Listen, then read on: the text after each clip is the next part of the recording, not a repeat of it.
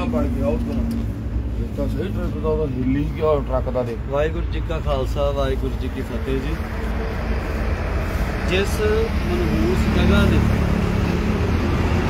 ਸਾਡਾ ਭਰਾ ਸਾਡੇ ਤੋਂ ਦੂਰ ਕੀਤਾ ਉਹ ਜਗ੍ਹਾ ਤੇ ਖੜੇ ਆ ਤੁਹਾਨੂੰ ਵੀਰ ਦੀ ਗੱਡੀ ਦੀ ਦਿਖਾਉਂਦੇ ਮੈਂ ਜੋ ਗੱਡੀ ਪਰ ਦੱਸ ਮੜਾ ਜਾ ਇਸ ਟਰੱਕ ਦੇ ਵਿੱਚ ਵੱਜਾ ਇਹ ਰਾਜਸਥਾਨ ਦਾ ਟਰੱਕ ਹੈ। ਰਾਜਸਥਾਨ ਦਾ ਟਰੱਕ। ਇਹਦਾ ਨੰਬਰ ਹੈ RJ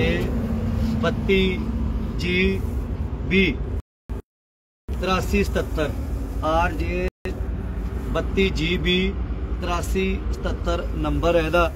ਤੇ ਮਨਜੋ ਇਹ ਗੱਡੀ ਜਿਹੜੀ ਆ ਮਨਜੋ ਦੱਸਦੇ ਕਿਵੇਂ? ਇੱਥੇ ਇੱਥੋਂ ਗੱਡੀ ਦੀ ਗੱਡੀ ਜਿਹੜੀ ਆ- ਡਰਾਈਵਿੰਗ ਸਾਈਡ ਜਿਹੜੀ ਇੱਥੇ ਵੱਜਦੀ ਆ ਗੱਡੀ ਥੱਲੇ ਚਲ ਜਾਂਦੀ ਆ। ਆ ਤੁਸੀਂ ਟਾਇਰ ਦੇਖ ਸਕਦੇ ਹੋ।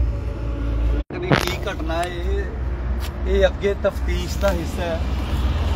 ਪਰ ਟਰੱਕ ਨੂੰ ਅੱਗੋਂ ਜੇ ਧਿਆਨ ਨਾਲ ਵੇਖਿਆ ਜਾਵੇ ਤਾਂ ਉਹ ਦੇਖੋ ਤੁਸੀਂ ਐਕਸਲ ਦਾ ਧੂਰਾ ਤੱਕ ਜਿਹੜਾ ਟਰੱਕ ਦਾ ਉਹ ਟੁੱਟਿਆ ਹੋਇਆ ਔਰ ਇਹ ਇਹ ਜਿਹੜੀ ਆ ਕਿਉਂਕਿ ਗੱਡੀ ਜਿਹੜੀ ਆ ਉਹ ਅੰਦਰ ਚਲੀ ਜਾਂਦੀ ਆ ਤੇ ਉਹ ਹਿੱਸਾ ਜਿਹੜਾ ਬਾਈ ਜਿੱਥੇ ਡਰਾਈਵ ਕਰਦਾ ਸੀ ਉਹਨੇ ਬਾਈ ਨੂੰ ਇੱਥੇ ਜਿੱਦਾਂ ਆ ਦੇਖੋ ਬਾਈ ਨੂੰ ਹਿੱਟ ਕੀਤਾ ਤੇ ਬਾਈ ਦੀ ਜਿਹੜੀ ਗੱਡੀ ਆ ਆਓ ਤੁਹਾਨੂੰ ਗੱਡੀ ਦੇ। ਕੋਲ ਚੱਲਦੇ ਆ ਇਦਾਂ ਇੱਕ ਮਿੰਟ ਦਾਨ ਆਉਣਾ ਧਿਆਨ ਨਾਲ ਧਿਆਨ ਨਾਲ ਆਉਣਾ ਜੀਟੀ ਰੋਡ ਹੈ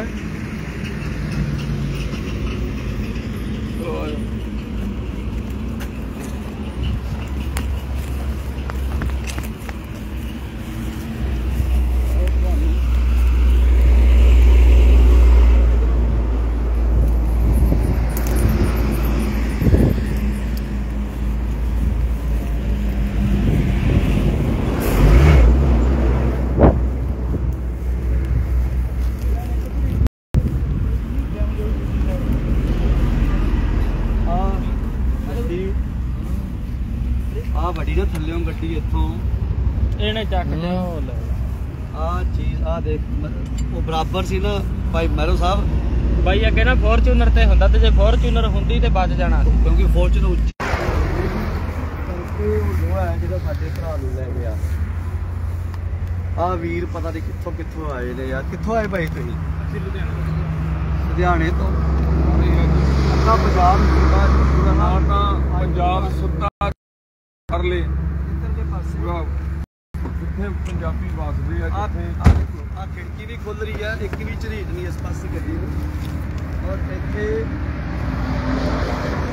ਆ ਖਾਲੀ ਬੜੀ ਲਾਈਟ। ਬਾਈ ਨੇ ਵੀ ਜੇ ਕਿਤੇ ਹੋਊਗਾ ਭਾਈ ਉਹਨੇ ਆਪਣੀ ਆਪਣੀ ਸਾਈਡ ਸਤਨਾਮ ਸਿੰਘ ਲੈ ਲਈ ਹੈ ਨਾ ਜੇ ਲਈ ਸਾਡੀ ਭੈਣ